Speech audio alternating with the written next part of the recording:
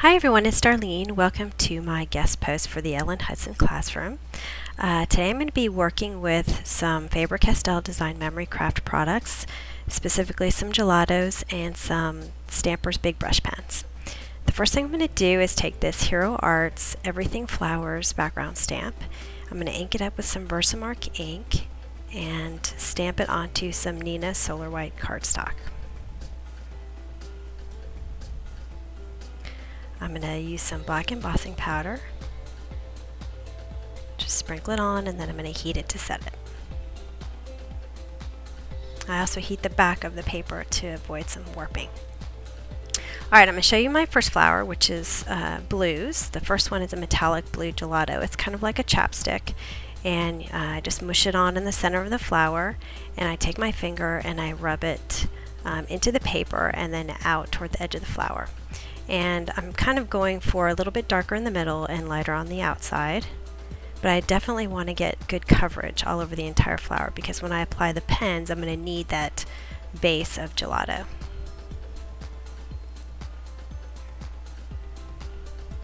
Alright, now starting with the pens, oh as you can see it wipes off really easy with a baby wipe because it's water soluble. Alright, so this blue pen matches my uh, metallic gelato. And I'm just going to color a little dot in the center and I'm going to use my finger to kind of wipe it out toward the outer edge of the petal. And I'm going to do this on all of the petals. It kind of adds a little bit of a design to a petal and then also some dimension because I'm making it a little bit darker in the center.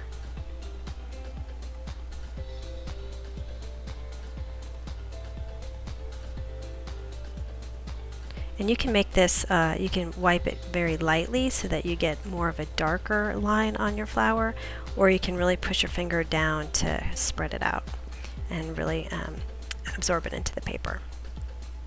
Alright, I'm speeding this up because I'm going to do this with all these different petals here.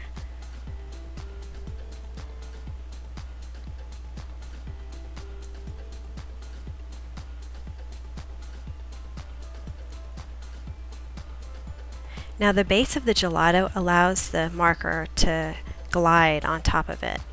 Um, and that's why you're able to blend it.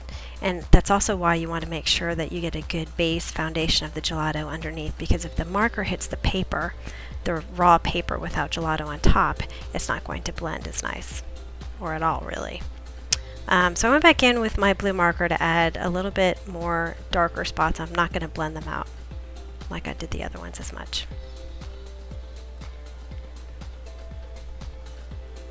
I'm going to have those more in the center.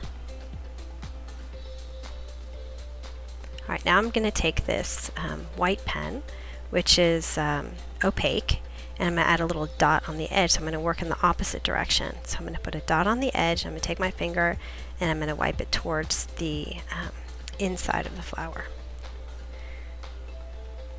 Now you want to wipe it as soon as you put the dot on there because it does start to dry a little bit so you don't want to get it, that circle.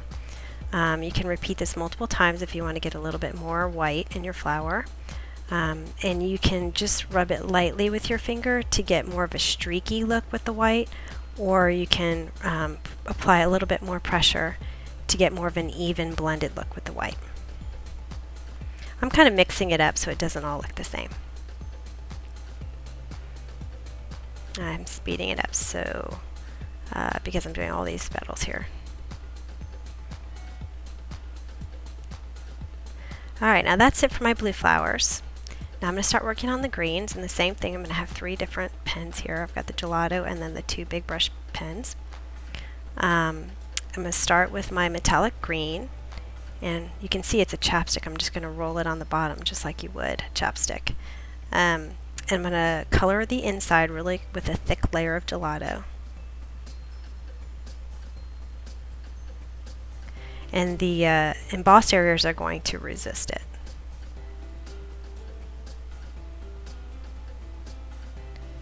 I'm going to rub the, that the same way I did with the blue, so I'm going to have it a little bit darker in the center, and I'm going to push that gelato out toward the edge of the flower.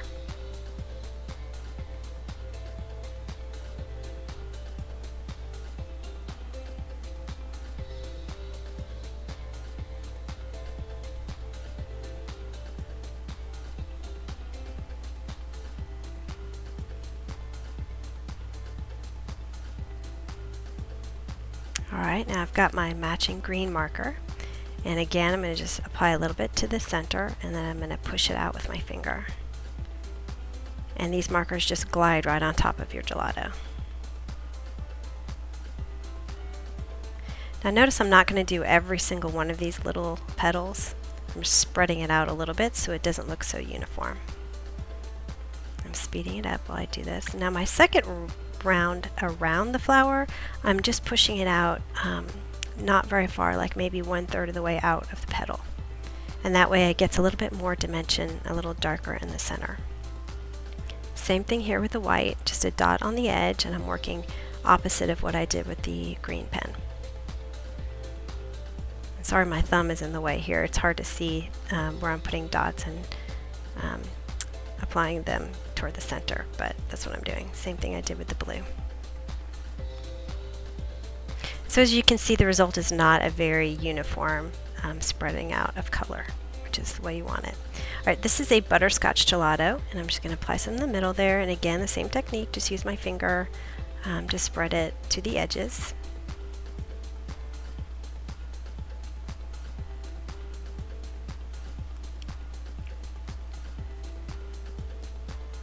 And this is another big brush pen. I believe it's called Flesh. I'll have to go and look and we'll, we'll post that.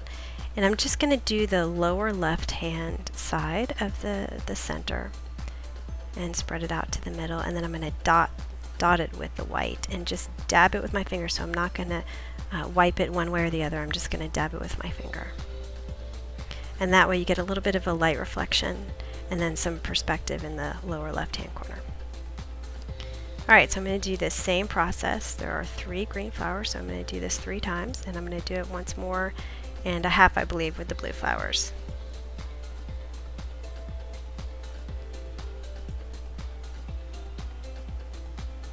Alright, now when I'm all done, um, I decided to add a little bit of white to the center of these blue flowers. I love this pen. It's a very thick pen and it's opaque, um, so you can't really see through it. So I'm just dabbing it right there in the center.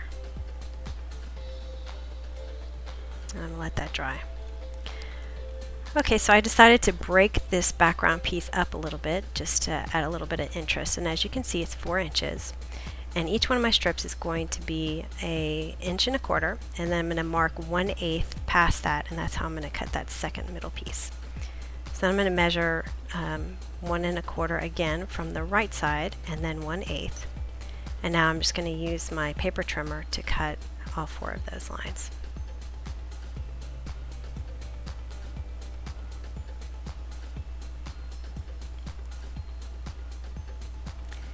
Okay, and I've got a piece of four and a quarter by five and a half inch cardstock that I'm going to apply these strips to.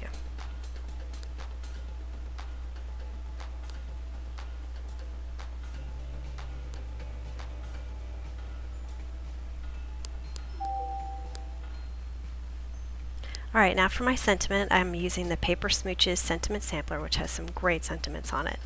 Um, and I uh, black embossed on a piece of vellum, so you can see it kind of is raised up a little bit and shiny. Because I wanted to still see the background, so I'm placing my vellum where I'm going to put it, and I'm marking some dots there. And I'm going to take some glue dots, and I'm going to roll each glue dot, actually I'm going to use a paper piercer to get it off there, and I'm going to roll it into a ball before I stick it on my vellum. And the reason I'm doing that is because I'm going to put some gems on top of that. Now I wanted one in the middle to stick it down, so I took it and I rolled it into a snake, and then I put it right behind the T in the word just, so you couldn't see it. Just going to place it on there and trim off the excess. Well, I'm going to put my gems on first, just some black ones, right on top of those glue dots so you don't see them.